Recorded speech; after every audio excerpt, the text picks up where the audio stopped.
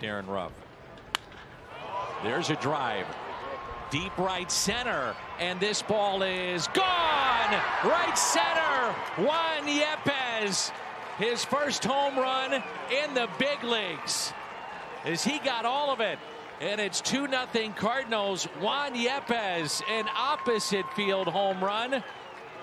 Five straight games that Yepez has reached base to start his major league career. Wow, that's impressive. I was going to bring this up, but the wind is swirling today.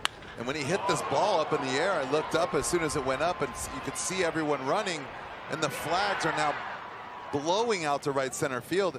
And that ball shifted gears and started blowing to the right a little bit and just took off. I don't think he thought it was going to go that far. And